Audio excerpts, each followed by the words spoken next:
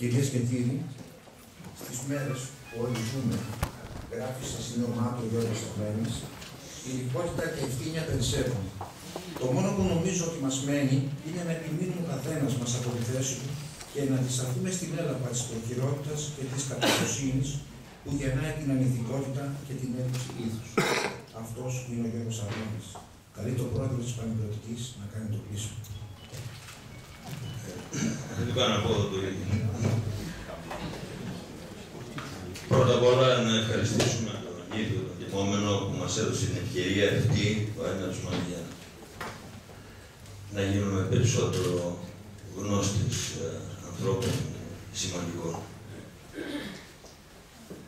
Επίσης, ε, τους κύριους μελητές που με τις, τους προβολείς της γνώσης τους φωτίσαν σημαντικές πτυχές από την προσωπικότητα του Γιώργου Αρμένη, όπως ο καθηγητής Γιώργος Όπλος, που ως σαν μια, τα πράγματα, μια διάλεξη αυτό που ακούσαμε, ε, έδωσε ένα αιτητικό χαρακτήρα, θα έλεγα, στην σημερινή ε, εκδήλωση. Τον ε, γνωστότατο και διεθνώς ε, σκηνοθέτη μας, Βαλερή Βούλγαρη, το λογοτέχνη μας και συμπατριώτη που και αυτός με τον τρόπο του φώτισε μια σημαντική πτυχή από τον τιμόμενο, όπως και τον Παπαχρήστο, τον Δημήτρη, γνωστό επίσης και ως φωνή, ως φωνή του Πολυτεχνείου.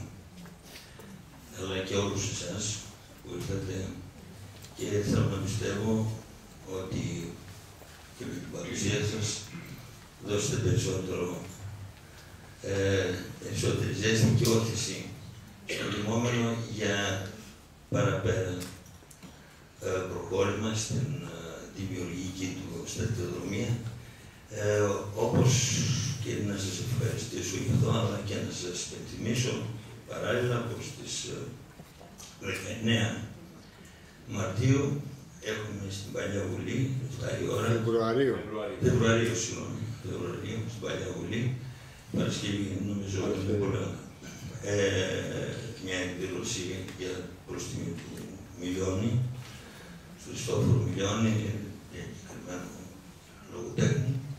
Αλλά και αυτονόητο είναι ότι μεθαύριο τους περιμένουμε κάτω, στο στάδιο Ειρήνης και Φιλίας στην Κυριακή, 10 η ώρα. Στη Μεγάλη είναι 12 η ώρα, 12 μέχρι 12.